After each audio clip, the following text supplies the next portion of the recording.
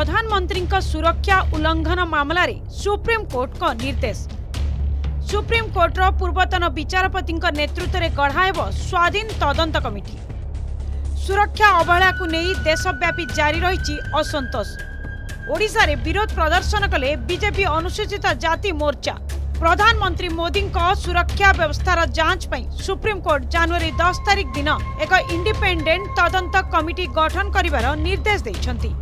গত সপ্তাহে পঞ্জাবর ফিরোজপুরে প্রধানমন্ত্রী নরেন্দ্র মোদী সুরক্ষা উল্লঙ্ঘন ঘটনার তদন্ত পাই সুপ্রিমকোর্টর জনে পূর্বতন বিচারপতি এই কমিটির নেতৃত্ব নেবে এবং কমিটির পরিচালনা করবে গত সপ্তাহে পঞ্জাবরে প্রধানমন্ত্রী মোদী সুরক্ষা উল্লঙ্ঘন ঘটনার যাঞ্চ পাই DGP Chandigarh IG National Investigation Agency পঞ্জাবর registrar general এবং পঞ্জাবর এডিজিপি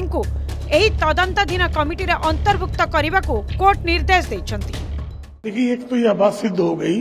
कि आदरणीय प्रधानमंत्री जी की सुरक्षा में पंजाब सरकार की तरफ से चूक हुई है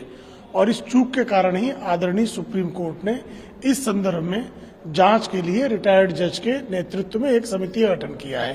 तो स्वाभाविक तौर पर इस समिति का स्वागत है और अपेक्षा है कि शीघ्रातिशीघ्र यह समिति जांच रिपोर्ट सार्वजनिक करे तेरे प्रधानमंत्री का सुरक्षा अवेला एक अत्यंत गुरुतर विषय एवं यहाँ तदंत पाई गठित हुई टीम को धार्य समय सीमा मध्य रिपोर्ट दाखल करने को सुप्रीम कोर्ट निर्देश देखती तेरे यहाँ मध्य देशव्यापी प्रधानमंत्री का सुरक्षा अवेला को नहीं जन आक्रोश लाग रही से हीपरी राजधानी भुवनेश्वर ओडार अन्न्य जिले में मध्य घटनार प्रतिवाद कर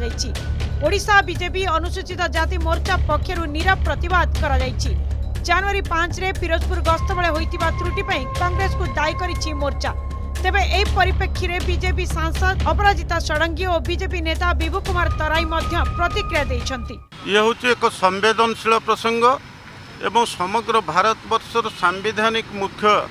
ଆମର ପ୍ରିୟ ପ୍ରଧାନମନ୍ତ୍ରୀ ନରେନ୍ଦ୍ର ମୋଦିଙ୍କର ଫିରୋଜପୁର ଗସ୍ତ କାଳରେ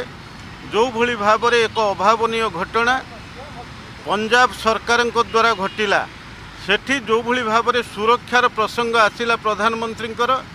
ଏବଂ କୋଡ଼ିଏ ମିନିଟ୍ ଧରି ତାଙ୍କ ଗାଡ଼ିକି ଯେଉଁଭଳି ଭାବରେ ଅଟକେଇ ଦିଆଗଲା ଏବଂ ଆନ୍ଦୋଳନକାରୀମାନେ ଯେଉଁ ଷଡ଼ଯନ୍ତ୍ର କରିଥିଲେ ସେ ଷଡ଼ଯନ୍ତ୍ରର ମୂଳରେ